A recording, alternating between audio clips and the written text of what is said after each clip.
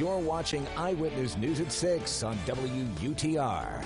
Local public officials and AT&T came together earlier today to discuss new wireless infrastructure for Oneida County. Our Eyewitness News reporter Lauren Brill has more details on what these expansions will do to enhance public safety.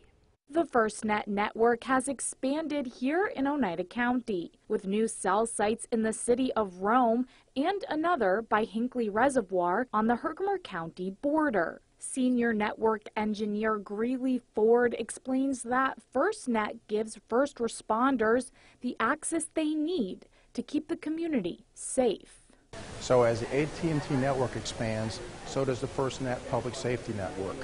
And what the FirstNet Public Safety Network is, is a, um, it's a priority and preemption for FirstNet users, public safety users, to get through when no one else can.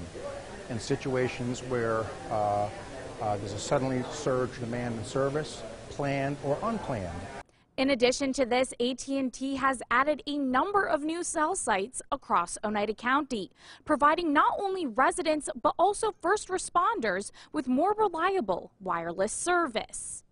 The new cell sites uh, cover uh, Griffiss Business and Technology Park, uh, the Oneida County Office Building, downtown Utica, East and North Utica, Utica University, St. Luke's Hospital, uh, Utica Business Park, uh, Notre Dame uh, Junior and Senior High, Burrstone Road intersections there. They also provide enhanced coverage to the Adirondack Bank Center at the Aud, the Nexus Center, which will be soon open, Wynn Hospital, again, which will be open uh, next year, the New York State Office Building. Sheriff Robert Maciol says the expansion is important for planned events or during an emergency.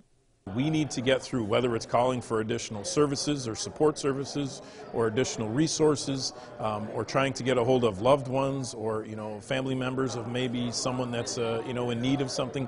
We need reliable service. We need reliable communication and FirstNet through AT&T with their expansion that gets us to where we need to be. Reporting in Oneida County, Lauren Brill, Eyewitness News. Happening locally tomorrow is the return of